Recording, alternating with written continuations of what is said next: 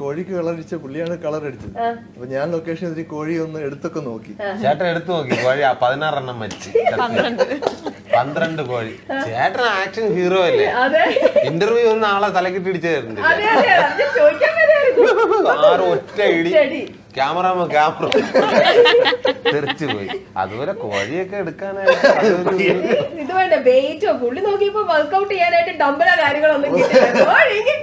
ഒരുപാട് കഥകൾ എനിക്കെതിരായിട്ട് അടിച്ചിറക്കി. കളർ നോക്കി അവിടെ വെക്കും പുള്ളി ഇതെടുക്കും ആ നല്ല കോഴിയല്ലേ? അവിടെ വെച്ച്.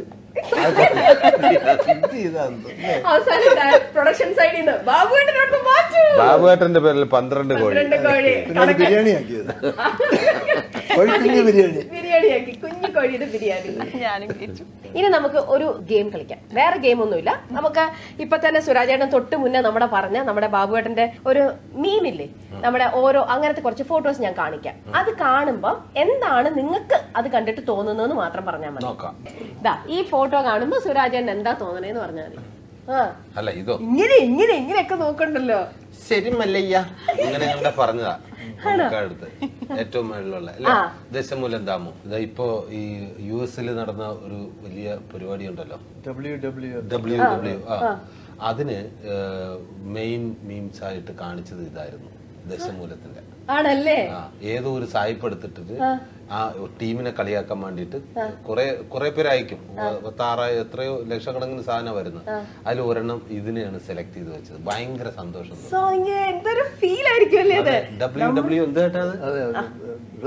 റെസ്ലിംഗ് അതിന്റെ മേലിൽ ഒരു ടീമിനെ കളിയാക്കാനായിട്ട് ഈ ദശമൂലം ദാമോ വന്നത് ഞാൻ ഇത്ര നാളും കുസ്തി പിടിച്ചിട്ട് എന്റെ ഒരു തീമും വന്നില്ല. അവിടെ താമസിച്ചിട്ട് പോലും. ആര് പറഞ്ഞു? ആ അത് വന്നില്ല. അവിടെ വന്നില്ല. പക്ഷെ ദേ വേറൊരെണ്ണം വന്നു. ഞാൻ കാണിക്കാം ബാബുവേട്ടന്റെ വേറൊരെണ്ണം. ഇടുക്കി ഗോൾഡ് നിനക്കെന്താ ഭാര്യ എത്ര പേടിയെന്ന് ചോദിച്ചു?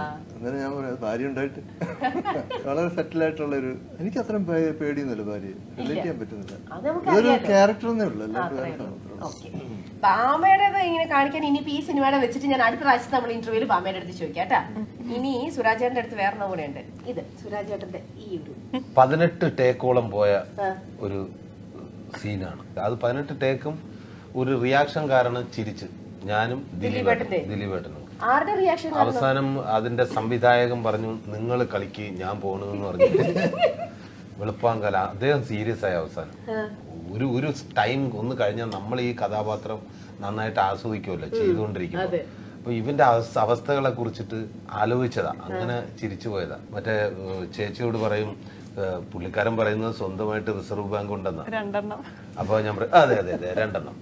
ഒന്ന് അപ്പൊ കടവന്തര തുടങ്ങാൻ പോകും എന്ന് എന്ന് പറയുന്ന ഒരു സീനായിരുന്നു അപ്പൊ പുള്ളിക്കാരൻ പറയും മാഡം ഇങ്ങനെയൊക്കെ പറയാനായിട്ട് എന്നെ ഏൽപ്പിച്ചതാ. പുള്ളിയെ നോക്കുന്നൊരു ഒരു ഷോട്ടാ. അത് പത്ത് പതിനെട്ട് ടേക്ക് എടുത്ത്